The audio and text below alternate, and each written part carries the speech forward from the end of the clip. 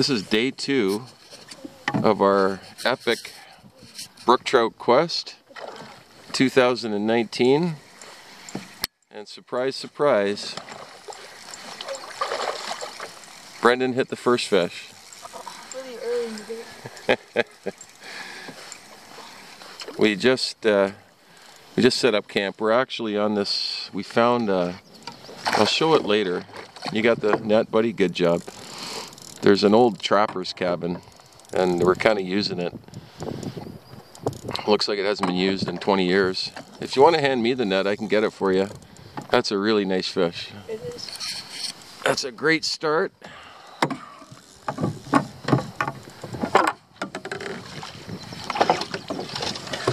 Oh, we're gonna. Oh, that's a really nice fish, Brent. The wind is blowing us into the rocks here. Here. Oh my god, I can't get it. Oh, oh, Bren. That's a dandy. Oh, what a start. And the hook just fell right in. Oh. Oh, look at that big, beautiful, fat brook trout. I'd high five you, but you're a little too far away. All right. All right, that was a really short trail over to this lake. This is it. It's not really a lake, it's a tiny little pond. What you see is what you get right here. Reputed to have brook trout in it. We shall see. It's incredible though, even on this tiny, tiny little pond, the wind is brisk enough that it's blowing us around all over the place. So uh, we found this old white bucket there, right behind Brendan, and fill it with rocks to counterbalance things because he's quite a bit lighter than I am. So if there's fish in here, I don't think we're going to have too much trouble finding them. A Couple minutes in, Brendan strikes again. This is a smaller one but it doesn't matter. It's a fish. So there is brook trout in this tiny little pond. Oh, I'm I'm snagged. Okay, that was perfect. We're gonna just drift right in here, buddy. Yeah. Nice one. Tiny little lake or pond, whatever you want to call it. Uh oh. You could have gotten it first. Do you want me to net it? Um, Nice little fish. It's barely hooked actually. Swing it over here. Nice one. Okay, I'm gonna shut the camera off and we'll just deal with this one for now. All right, way to go. Brendan's on fire. So he's using this uh, Weaver grabber spoon, which isn't much of a surprise, but it's uh, the brown trout pattern one. Another nice, nice little male. Way to go, buddy. This little pothole lake is uh, it's got some fish. We're just gonna. you got splashed. We're just gonna drift down into this corner. Uh, probably. Yeah. Or we can net it. They like that brown trout patterned weaver grabber. It's really cool. Yeah, here, why don't you just grab the nut? That's a nice fat one. That's a, there's nothing wrong with that fish. I would, yeah, just bring it in the boat if you can. He's got it by the tail. Uh, beauty. Good job.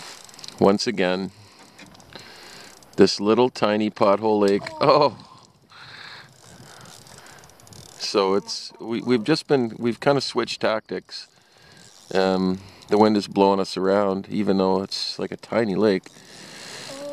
We're actually um, just jamming the canoe along brush and logs and stuff right tight to shore, and casting out into the lake. That's how we're getting them. Am I grabbing it? So how many is that? Five or six? I I can't even count now. I think I got They're all kind of around the same size. They're pretty quality fish. And Brendan, I mean, he's got another rod with. Uh, he keeps switching up, but every fish that he's caught is on this um, brown trout patterned weaver grabber. Today, that's the hot lure.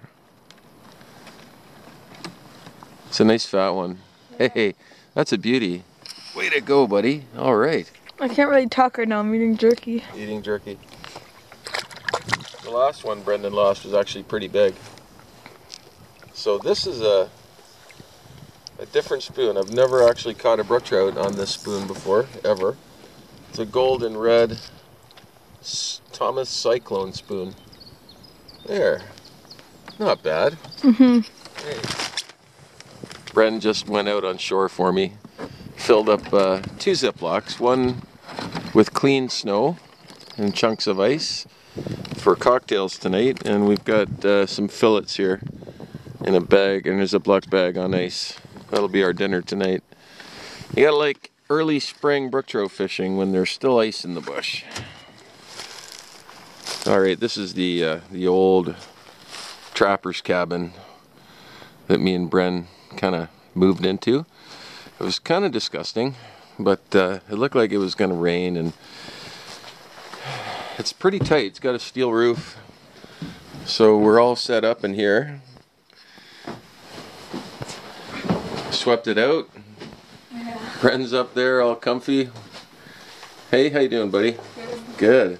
It's all It's all dry in here, so this is all right. And we've been catching trout on these little pothole lakes here. We're gonna probably move on to another one tomorrow. So should be quite the adventure. It's about an 850 meter bushwhack through some pretty dense, dense bush. What'd you say? Nothing. Bush. I said nothing. Bush. dense bush. Here you go. Okay, we bushwhacked into this lake. It's a gorgeous lake, but man, is the fishing ever hard. Yeah. I don't even know if I'm gonna. I, I got one here on a weaver grabber. What color is it? It's um, it's like a green, and I'll show the camera. It's gold backed with green. And, oh, please get in the net. We want you badly. So this water is like glass water clear. And uh, Brendan and I both saw this fish. We got it. Splashing. following my um, my lure in all the way from shore, like hit it, hit it, hit it, hit it. And I was kind of jiggling the lure right beside the canoe right now, and I got it. That was totally crazy. Yeah, I'll try and get the. Yeah, show the. It's kind of a perch, sort of perch pattern, but with red. I think it looks like a dace, actually. They usually like that one. I'm trying to get it out of the net. I don't think it's gonna happen. Well, we'll get it out of the net. We'll shut the camera off. We'll get it out of the net. But that was uh, that was that was um, I don't know how many hours of casting, Yeah. and it wasn't that easy to get into this lake. Like we bushwhacked over. I don't know. It was about four or five hundred meters from the next lake over, but we had to climb up a mountain. I didn't film it. I probably should have. beautiful, beautiful lake, though. Anyhow, at least we know there's fish in here. Yep.